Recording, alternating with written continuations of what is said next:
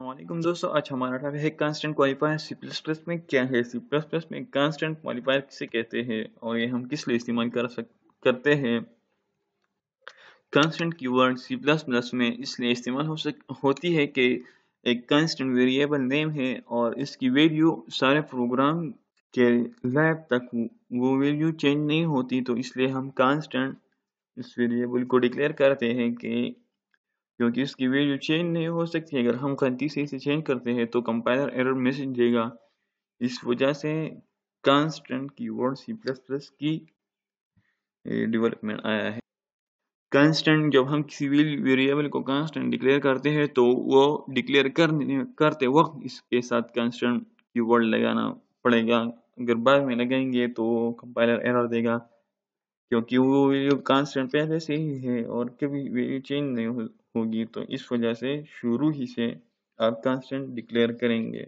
बाद में इसका कोई फ़ायदा नहीं है क्योंकि प्रोग्राम के लाइन तक इसकी वैल्यू चेंज नहीं होती। इस वजह से अगर शुरू ही से कांस्टेंट डिक्लेयर की तो कोई प्रॉब्लम भी नहीं है और आसान होगा फॉर रीडेबिलिटी और अंडरस्टैंडेबिलिटी यहाँ पर हमारे साथ एक कोड है जिसमें हमने कांस्टेंट कीवर्ड की इस्तेमाल की है और एक इन वेरिएबल की, एक इन डेटा की वेरिएबल ली है हमने और वो कांस्टेंट ली है। तो कांस्टेंट पहले लिखा है, फिर बाद में इसका डेटा टाइप लिखा है और फिर इसका वेरिएबल नेम लिखा है और इसको वैल्यू भी हमने असाइन की है कि 86 इसका सारे प्रोग्राम तक वैल्यू होगी।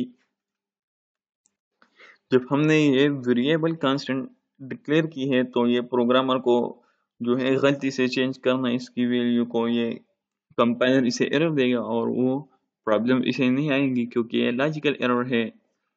और जब हम किसी वेरिएबल की जो वैल्यू चेंज करते हैं, ये लॉजिकल एरर है और फिर हमारे साथ जवाब गलत आता है क्योंकि हमने गलती की है कंपाइलर को गलती पता नहीं होती। तो इस वजह से जब हम, हमें पता होता है कि वेरिएबल कांस्टेंट है और इसकी वैल्यू कांस्टेंट है तो हम इसे कांस्टेंट डिक्लेयर करते हैं।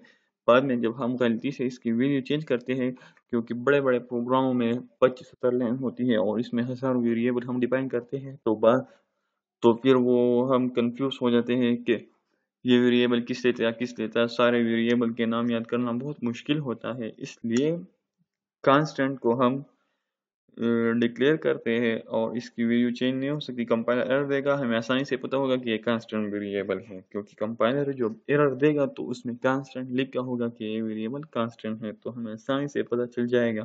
यहाँ पर हमारे साथ जो हमने इसे dollar rate equal to one two three मतलब ये एरर है, क्योंकि इसकी वैल्यू की चेंज करने की कोशिश हमने की। तो जब ये कोड एग्जीक्यूट होगा तो कंपाइलर एरर देगा क्योंकि लाइन टू में हमने यही पर डॉलर ब्रेड कांस्टेंट 86 लिखा है और बाद में हमने इसको चेंज की है वन टू थ्री तो ये ये वेरिएबल जो है कंपाइलर इस पर एरर देगा।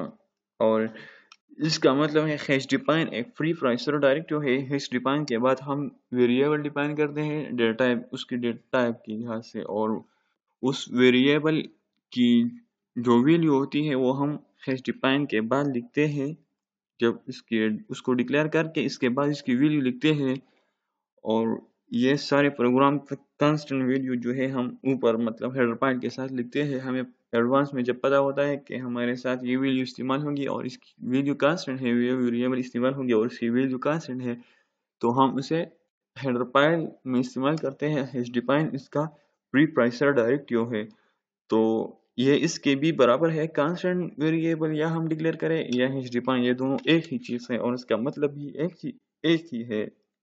और इसकी वैल्यू जब हम चेंज करते हैं तो कंपाइलर एरर देगा। अगर आपको हमारी वीडियो पसंद आई है तो सब्सक्राइब करें हमारे चैनल को। हमारा नेक्स्ट टॉपिक होगा टाइप केस्टिंग ऑफ़ रेटर ताला। Thanks for watching